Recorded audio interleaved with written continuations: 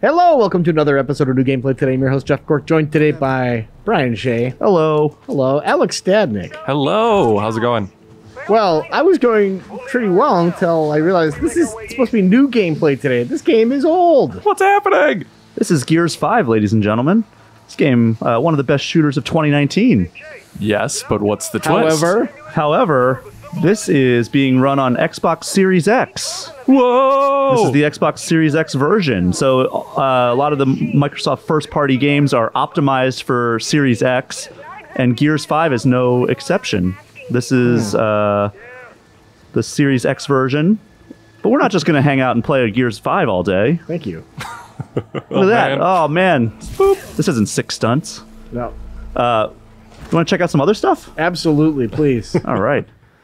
So, just jump between some games here. So, this is Assassin's Creed Odyssey. Speaking of some of the best games of last generation, this- using the quick resume feature, uh, it sits on this uh, screen for just a second, and then you're right into wherever you left off.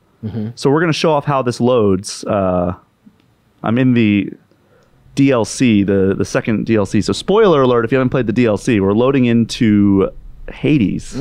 I should probably cover my eyes then. This is my forever game. I don't think I'm ever going to beat this. It's a very good game. Yeah. So the load times are cut significantly. Like I think if you go on GameInformer.com, you can see the comparison chart, and I think it was like a full minute is cut off of the load time Yeah. uh, of games like Final Fantasy 15 and uh, Red Dead Redemption 2, which will show both of those games off the Yeah. load times. Uh, for Assassin's Creed Odyssey, I think it was like 30 seconds was cut off. Well, how are we going to get our tips? I know, right? Yeah. How am I going to scroll Twitter for an hour? Yeah, Well, easy. You just delete Twitter. Ah, there you go. there it is. So you can see it runs pretty smooth. It loads pretty fast. Um, this isn't obviously the the big like open world of Greece uh, in the main game. This is part of the DLC, so maybe it loads a little differently. But my save file is relegated to this part, so I Ah. can't really test that. Yeah. Um, But Yeah. you're you're feeling the difference. yeah, now definitely. It, it runs very smooth. Like as I'm running around, it, it feels great. Um, okay, so I can't really fast travel in this. So let's go to a different game where I can fast travel. Um, ignore some of these games. UFC 4? Uh, I don't think that is something Can't- you can fast travel Can't in. fast travel? Hmm. Uh, let's do Final Fantasy 15. Oh, look at them. They're just a bunch of bros. So this is like a load from the very beginning. Like this is not quick resume at all. Final Fantasy 15 I did not have running. Um so we have to go through all like the menus. Ah, I remember that. For fans and first timers. Which I think is an apt description of this game because I I'm a fan of Final Fantasy, modern Final Fantasy at least. I really like this game. Yeah. Uh, and I know people who have been uh, novices to Final Fantasy and they've really liked this game. It's very interesting stuff. Yeah. Well, we got to fill this time somehow. uh, load game. So I did a new game plus recently. So I'm level 52, but like way in the beginning. so let's load that. Is that the Assassin's Creed logo? Yeah, because there's the Assassins Festival crossover event that they did. And I think if you did that at some point on your save file, it gave you that. And then like it also let you go back and earn that stuff. Gotcha. um, or you can u- you can equip that stuff. So that was pretty fast loading in there, especially Cool. for an open world game. Yeah. Is the quick resume your favorite part of the the Series X so far? Like, can you talk about that at all? Um, Yeah, I, I think it probably is that, and just the overall load times, just because it does let you get back into the game like at the fastest possible, uh, fastest possible way. Like. If I wanted to jump back over into Assassin's Creed, I could do that right now without having to, you know, worry about. Uh, all right, shut up, everyone. I could I could jump right back into the game without having to reload through like the opening menus and all like the stuff in the beginning. Um, so we can do that right now if we want. Just show going back into it because on an Xbox One, it would quit whatever game you were in before, Yeah. and you have to go through all the menus and everything. Whereas this, you get a brief uh, art screen, and then there's a moment of being frozen, and then it's right back to this. Damn, that's unreal. It seems like there's gonna be a trade-off built in though, because like having multiple games kind of in this frozen state, I'm assuming prevents them if there's an update from updating those games in the background. So if there is a game that you get on day one, and you're super excited about it, and you play it all night, and then bounce between something else, and you have that kind of stuck in stasis in the back end. And when that inevitable week one update comes, you'll probably have to like manually go I, through all that. I bet it will probably do something similar to what it does now, where it like it tells you that there's an update available. Mm-hmm. Um, let's go to something else. So this is non-final. Uh, let's play a next gen game, but this is non-final dashboard. So this is the preview dashboard. So Mm-hmm. they're going to give me an update in a little bit that's going to have uh, the actual launch experience. So right now, what you're seeing in the back end as I'm going through is totally not the experience you will have. Uh, I mean, may, it might be. I have no idea what the experience that they're going to put out is going to be. But uh, yeah, let's play a next gen game here. Yeah.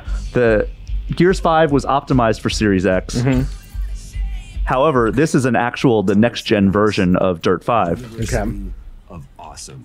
So let's do a little racing here. You like driving around in one of these, Cork? It's what I live for. Yeah, absolutely. That's what you drove in here Yep. today. yep, that's why I have a big mud stripe up my back. So this is actually one of the slower loading games that I found was Dirt 5. Really? Interesting. And I don't know if that's because of the developer. I don't know if that's because it's just not particularly optimized, but it's still relatively fast, as you mm-hmm. can see. So we're up in uh, South Africa, Lion's Head. Very nice. Have you liked your experience with Dirt so far? Yeah, so far it's been fun. Uh, I've not done this race or driven in one of these bad boys yet. Let's do some jumps. Yeah, it feel, feels pretty smooth. Now, This is going to be a disaster. I can see the bottleneck Yeah. coming. one of uh, one of the things Sony Oh, is. God! Well, that was fun. one of the one of the things Sony has uh, has championed with its PS5 launch coming up is the the haptic feedback on the con- uh, for the, their controllers. The, yeah. Is has Xbox gone into that as well? Like, are you feeling like you're in a racer right now, or I mean, I'm feeling it. In, it they had that for uh, Xbox One as well, but yeah, I'm, I'm still feeling like the the feedback in the triggers. Like when I slam on the brakes, you feel it in the left side, and 'cause that's where the, the left triggers brake. Uh, and when you're accelerating, you feel like a little bit of a rumble on the right side. cool? Uh, so yeah, you get that with this as well. Um, how different it is because Sony's also been touting like the ability to. Uh, I'm really doing bad here. It's okay. But uh, they're- he, Sony's been touting the ability to like, like developers can program the uh, the, the triggers to have different like tension. Like so, it feels like if you're playing like like Horizon, for example, uh, they did not specifically name Horizon, but they gave this example of like if you're pulling back a tightly strung like bowstring, it'll they can make it so that like it feels like more tense, more tension in the the actual trigger itself, which is pretty cool. for sure. I think the example I was reading about that was exciting is like adding tension midway in a point of a like trigger pull to simulate a double barrel shotgun, so you know when you feel that resistance, if you continue, you'll fire both barrels, or you could just do one at a time independently. Yeah. That's really awesome. Yeah, they uh, there's some really cool stuff going on with both controllers. Like I think this Xbox Series X controller is really comfortable. I think the D-pad is great. Uh, the triggers and the grip have like a better texture to them. Uh, and the share button is really awesome, where you press it. It's a it's a new button in the middle of the controller. You press it once, like a quick press, and it'll take screenshots. You hold it, and it will uh, do video. So you don't have to go back to the home screen or the the sidebar menu in order to uh, do that. So you don't have to throw like everything into a screeching halt just to take your little video. Right. So we're gonna do some Yakuza like a dragon. Ooh, This is also the Xbox Series X version of this game. That's fast load. that is. This is a Jeff Cork favorite, if I'm not mistaken. Correct. I love it. Jeff Cork Jam. So, So- what is your purpose here? What are you? What are you going to show us? You're just going to walk in an We're just gonna run around, maybe fight a couple guys. Yeah. Let's fight these guys. All right. Seem like they're fixing for a fight. Suspicious men. I knew it. And this famously has changed the the traditional brawler action to like more of a turn-based sequence for fighting. Which Yeah. I was messing around with a, a little bit with it this morning, and it seems fine. Yeah, I mean it's it almost persona esque with like the menu system and everything. Um, but it's it's very traditional like JRPG turn based, which I think is a refreshing twist on the genre because like or the the the uh, the franchise. For sure. It's uh I don't know I, I kind of you know three Yakuza games in I was starting to get a little tired of like running into street thugs Yeah. every block and then having to just mash buttons and do combos Yeah. to take them out. Where this is I'm tired of shooting these guys with my gun in Call of Duty. exactly essence of handbag hurricane baby. It's one of her more powerful moves. And he's weak to that. I I am as well. Yeah. I'm not bad. Cool. So there is something cool that it'll do where like if you're in the way, uh, like if, if there's like an environmental object, because like in the Yakuza games, like up to this point, like grabbing environmental items and like bashing somebody's head in with a bike or something like that is Yeah. a big part of the game. Uh, with this, if you happen to like be in between, or there's an object in between you and the bad guy, you'll either kick it over at them or grab it and uh, and like use it as, as like an additional attack. Yeah, I am gonna miss not beating everybody up with bikes. That's kind of my go-to in these Yeah. games. But So we're gonna do a one of his strongest attacks. Cool. After this fight, do we want to show the menu and say goodbye? Yeah. love it. I did need to see you see you whoop this guy. Yeah, he's weak to getting hit with a baseball bat. Yeah. So uh, it's got a. I was wondering what that was. It didn't look like a baseball bat. That is a massive massage machine. So if you equipped that while you were Oh. playing this Ah. morning, Jeff Cork, thank you. oh, I did not actually. That's weird. All right, we'll just yeah, we'll go with that massive massage machine. There Yeah, you go. like Saints Row. Keeping this PG. I love it. Um, yeah. So let's just jump into one more game, real quick. let's go. It's got to be Sonic Generations, right? We got to go go back. Sonic Mania. Check out a 360 game. Yeah, let's check out Street Fighter 4. Everybody loves that game, right? Arguably the best Street Fighter game. Wow. Maybe. Maybe. I, I, I like Ultra Street Fighter 4 as maybe my favorite Street Fighter game. I don't know about you guys. Yeah, Though Super Street Fighter 2 Turbo, that it's a classic. that's where it's at. Does Marvel versus Capcom count? No. No. All Also, right. it's not the best, so Well. doesn't matter. Well, then my point is moot. it is. Moving on. So we're just going to check out how an Xbox 360 game runs on here. Let's skip this. Super Street Fighter 4 Arcade Edition. So I do have the Ultra DLC for this. Bloody duh. Yeah. So I wish that we could check out Street Fighter 5, but they made that exclusive. I'm shocked that that's still exclusive. You can get it on PC, but Survival of the Fittest. they made it seem like it was never not going to be exclusive, also. Yeah. All right. All right, let's skip that.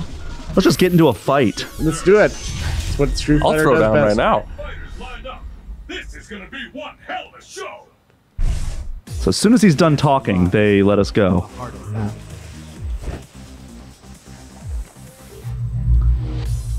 Are you ready?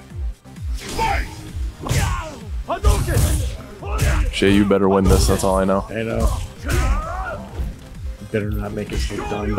I'm glad that we're showing off the new hardware with uh, The 360 game. Yeah. Street Fighter 4, Yeah. an 11 year old game, I think. I'm sure the comment section is very happy right now. yeah. All right. So, anything else you want to say before we uh, No, sir. Sign out of here? I think Yeah. you've done an expert job. Excellent. So, mm, one more time for good measure. Nope. Nope. There we go. Quick resume. Ah, Right back to Assassin's Creed. perfect. If you didn't believe it, we've done it thrice now, so you better believe true. it. All right. That is awesome. Great. When is this thing out? It's November 10th. Beautiful.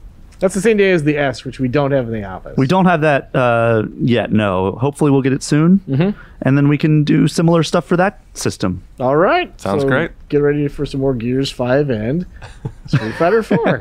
Thanks for watching, everybody. Bye. Ha ha ha. What a fantastic episode of New Gameplay today. Come back every week for fun, informational looks at new releases and early previews of unreleased games. Ha ha ha.